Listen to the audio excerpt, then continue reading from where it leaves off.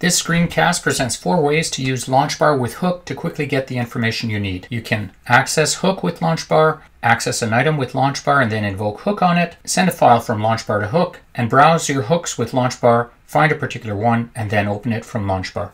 Of course, you can use LaunchBar to invoke Hook. Just open or select any linkable resource, invoke LaunchBar, find Hook, and press Return. Then you can operate on the selection with Hook. In the second example, I'm using LaunchBar to find and open a screenshot with Preview, and then I'm using Hook in the context of Preview. Notice that Hook shows you the title of the document and what's linked to it, and I can hook a new note to it. I can now use Hook to navigate between these hooked items. In LaunchBar, you can also send an item to Hook by invoking LaunchBar, finding the item in LaunchBar, pressing the Tab key, and typing Hook, and hit the Return key. That invokes hook on the item using LaunchBar's handy send to command. That's equal to invoking hook on the item from any other context. Then you can use any of hook's functions on the item.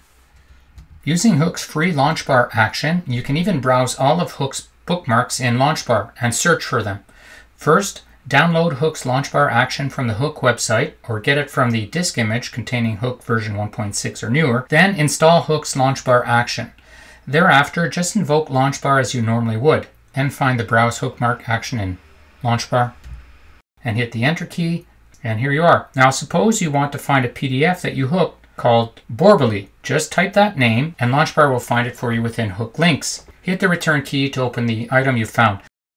So basically you can use LaunchBar to search hook links just as you can search for anything else with LaunchBar. Hook creates those bookmarks whenever you link items together.